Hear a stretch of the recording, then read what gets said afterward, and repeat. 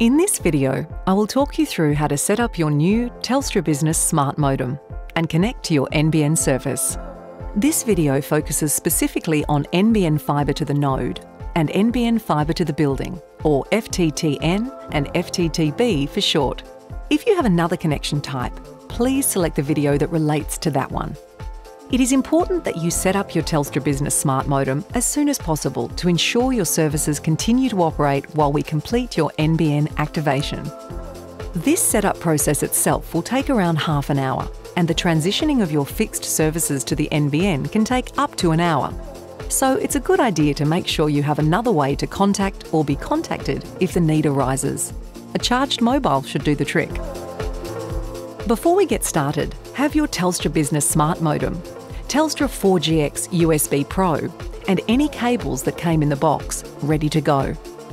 Be sure to take the time to read any information that came with those devices, especially the incompatible devices section of your Quick Start Guide.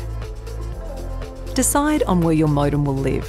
You'll want to make sure this isn't inside a cabinet or behind any large objects to ensure you get the best Wi Fi signal throughout your premises. You'll also need to have one power outlet and a telephone wall socket nearby. Once you've settled on a spot, unplug any and all devices connected to telephone ports around your premises. Now, we're ready to begin. Retrieve the modem from its box and locate the ADSL filter splitter. This should have one cable with a white end, and at the other end, there should be a grey end and a black end. Take the grey end and plug it into the DSL port on the back of the modem Take the black end and plug it into the FXO port on the back of the modem. Take the white end and plug it into the telephone wall socket. It's also important to plug the 4GX USB Pro into the side or back of your Telstra Business Smart Modem. In the unlikely case of a fault, it will automatically activate and ensure you stay connected to the internet via the Telstra mobile network. Plug the black power adapter into the back of the Telstra Business Smart Modem and then plug the other end into a nearby power outlet and switch it on. The Telstra Business Smart Modem is now going to start up. The Internet LED light on the front of the Telstra Business Smart Modem will flash orange while connecting and show solid blue once connected to the network. If the modem is connected to Telstra's mobile network as a backup, the light will flash red. This startup and connection process will usually take around 15 minutes, but can take up to half an hour in some instances. Once the light on the front settles on blue, you're ready to connect to the internet.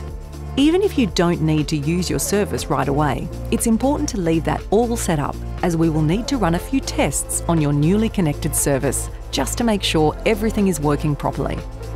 But if you do want to get into it right away, you don't need to wait. We'll run those tests in the background so you can feel free to start connecting your devices to your Telstra Business Smart Modem. To connect to your modem via Wi Fi, locate the Wi Fi card that came in the box with your Telstra Business Smart Modem. This will have the login details you need. To connect to your modem via Ethernet cable, grab the LAN cable, that's the one with two yellow ends. Plug one end into any yellow port on the Telstra Business Smart Modem and the other into your device's network port.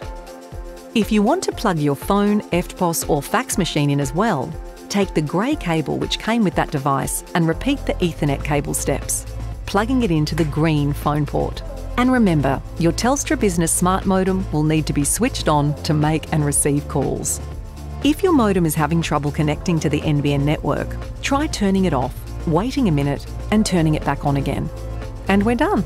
It's as easy as that. But if you do have any other questions or just want some advice about getting the most out of your internet service, head to telstra.com.au forward slash small business forward slash online support and check out our online help centre.